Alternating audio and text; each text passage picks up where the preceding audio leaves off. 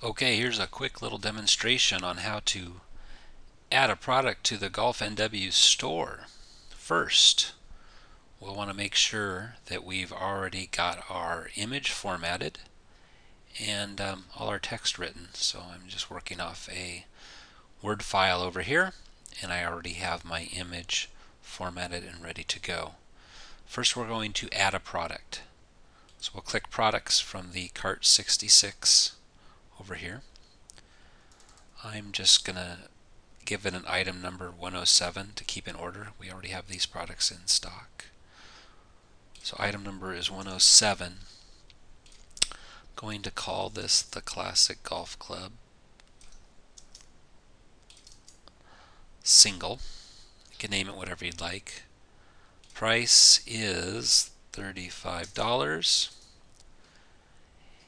It's not taxed. We're not going to ship it. And we will hit save. Next, we need to go to inventory. You'll see it has been added to our inventory list, but it doesn't know how many are in stock, which we have six. And we need to check it if we want inventory tracking to be in effect. So that is checked. I've hit save. Okay, that's all we have to do for adding the product to the cart system. Now we need to go to posts, click posts so we can add um, the description and whatnot. So we'll click add new. I'm going to copy and paste again from my Word document. Name it Classic Golf Club. Can use a bulleted list. Classic Golf Club. Valid anytime. Don't have any other details. Turn off the bulleted list. Now I just click the green Cart66 button and we're going to find Classic Golf Club. Click Insert. This will make the button show up to add to cart put it in the for sale category over here. We're going to hit set featured image. We're going to grab it from our computer, click select file, it uploads. Remember that's our image we've already pre-formatted to 280 wide by 150 high. Click down here after it's uploaded, use as featured image.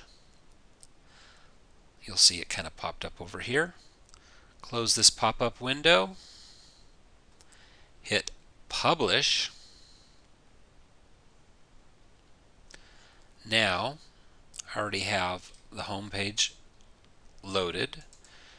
You'll see right now Whispering Firs is the first thing you see. When I hit refresh, the most recent one will show up, which is now Classic Golf Club.